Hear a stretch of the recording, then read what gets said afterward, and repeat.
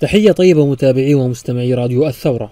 بعد سنين من معاناة الأهالي في مخيمات الكمونة تم تعبيد الطريق الرئيسي لهم والذي يصل إلى مخيمات كفر كرمين ويخدمهم بشكل كامل.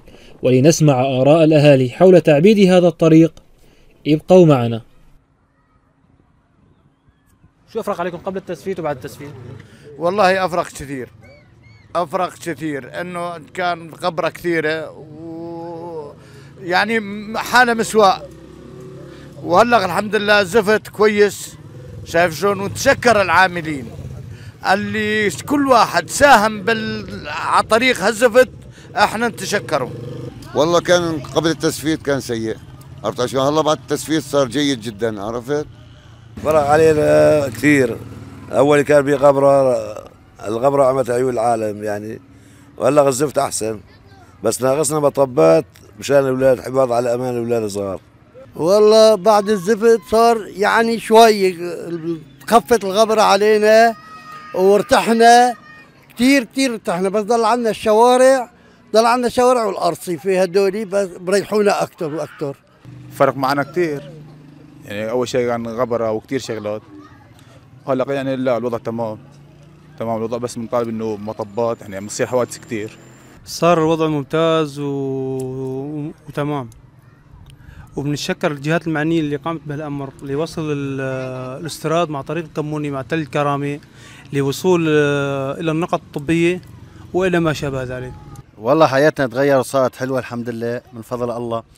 الغبره يعني إذا واحد يسعف مريضه بيحسن يوصله لأقرب مشفى عليه هون أولي ما في يعني ما في يعني السيارة لا لا تقدر تسرع من الطرقات الطرقات سيئة.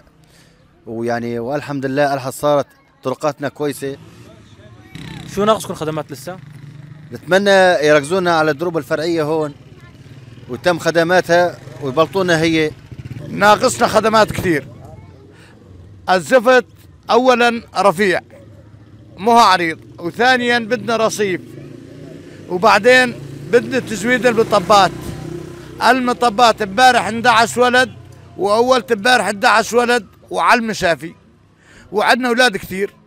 لازمنا آه، مطبات وتسفيت الطرق الفرعية وأرصفة. هذا اللي ناقصنا يعني آه، أهم شيء المطبات. أهم شيء عندي أنا المطبات مشان الأولاد. يعني نسونا مطبات كثر الله خيركم.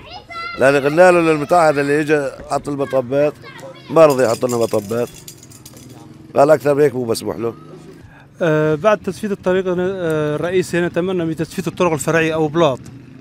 طلبنا شوارع الشوارع تتبلط وطلبنا الأرصفة تتظبط هون أمامنا هون. نرتاح أريح من أول بكثير هلأ ارتحنا شوي على الزفت بس بنرتاح أكثر إذا متابعينا ومستمعينا أسهم تعبيد هذا الطريق في تسهيل وصول الخدمات المتنوعة إلى مخيمات الكمونة وإزالة معاناة المارين عبر هذا الطريق غير أنه تسبب في حوادث عديدة وسط مطالبات الأهالي بإكمال الخدمات الطرقية كالمطبات ورصف جميع الطرق الفرعية.